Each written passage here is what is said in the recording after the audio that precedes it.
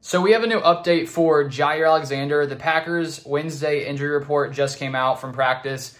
And here it is from Ryan Wood, who says Packers cornerback Jaire Alexander is not practicing today after dropping out of last week's game in Chicago with a knee injury. Marshawn Lloyd, appendicitis, was on the treadmill at practice. Everyone else is practicing today.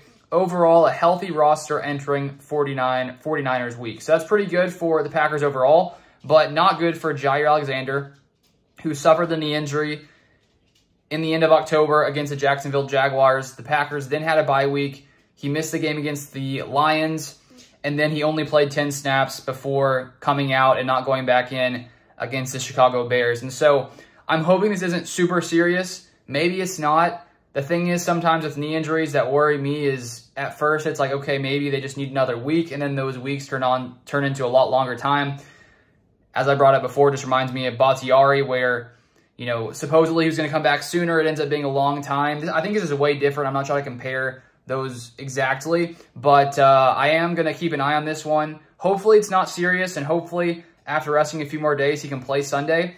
But if this is something that's going to linger and he's going to have to miss more time, then that's bad news for the Packers secondary because we saw last week without Jaire against the Bears, I thought the the Bears and Caleb Williams did a pretty good job. I don't think it was the greatest day from the Packers and their secondary. So Jaire, huge part of this Packers defense. We'll keep an eye on this injury. We just don't really know how bad it is right now. It could be minimal, but we'll keep an eye on it. If you guys want more Packers content, feel free to subscribe, and I'll see you guys next time.